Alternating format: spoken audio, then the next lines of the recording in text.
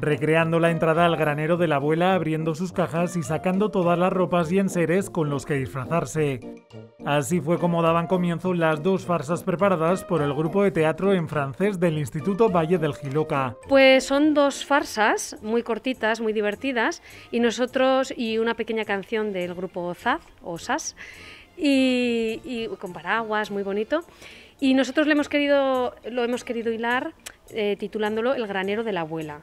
Eh, tenemos el escenario con cajas de cartón, bueno, simulando lo que son los graneros o eran los graneros de las abuelas y lo que nos gustaba a nosotros subir y, y coger ahí la ropa de nuestras abuelas, de nuestras madres, disfrazarnos. Entonces ellas van a jugar un poco eso y con esa excusa nos hacen dos farsas. Una sobre unos médicos en tono de clown y otra sobre unos bomberos también en tono de clown. Son muy divertidas, muy corporales, con lo que creo que se entiende aunque no tengas mucho nivel de francés y bueno, que nos lo hemos pasado muy bien. Este grupo del Centro Calamochino está integrado por seis alumnas que ya cuentan con experiencia en talleres de teatro. Seis valientes, seis alumnas que, bueno, que muy bien. Ellas ya venían de hacer teatro en el, en el cole.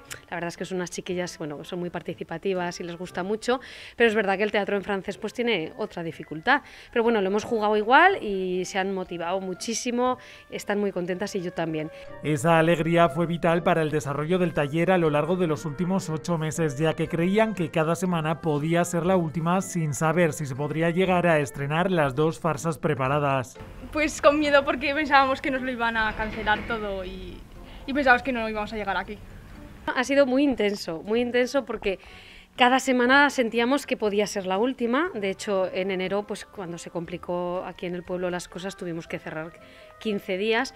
Y hemos trabajado así todo el año, con la sensación de que esta semana igual es la, última. Entonces, era exprimir cada clase al máximo, que por otro lado está muy bien, porque era como, ojo, somos muy conscientes del lujo, vamos a aprovecharlo al máximo.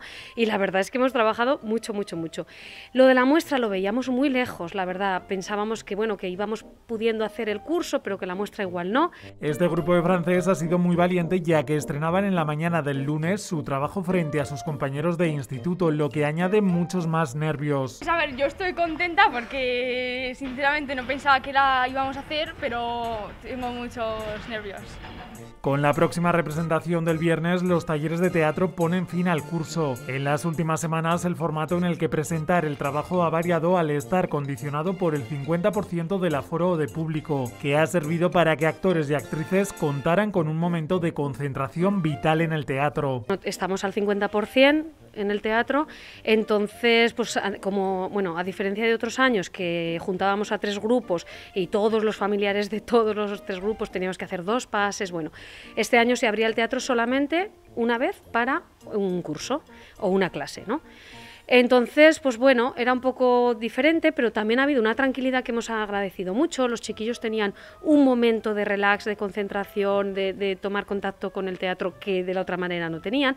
No me disgusta del todo, también lo hemos vivido de una manera positiva. ¿eh? Los asistentes a todas las obras de teatro de este curso 2020-2021 han disfrutado y se han reído con las obras cómicas que han preparado los alumnos de los talleres de Raquel Rodrigo. De cara a próximos cursos, las propias actrices esperan que la gente se anime para contagiarse con esta arte escénica. Animamos a todo el mundo que se apunte a teatro, os lo vais a pasar muy bien y vais a disfrutar un montón. तो हो गया? हुई तो यहाँ में